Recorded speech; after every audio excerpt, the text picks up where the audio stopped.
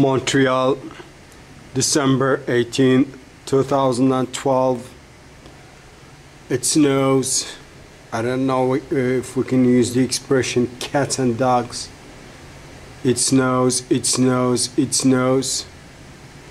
And it continues to snow today. December 18, 2012. It's almost Christmas time and it snows.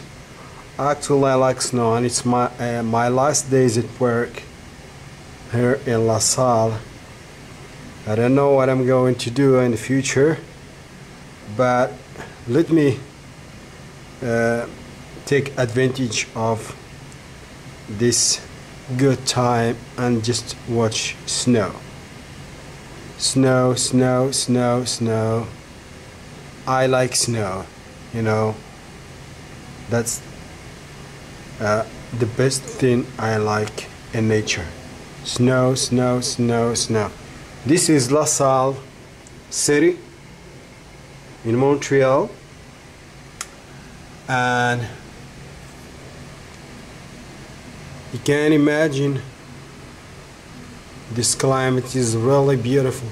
It's not that cold, it's warm and it just snows. I like that. So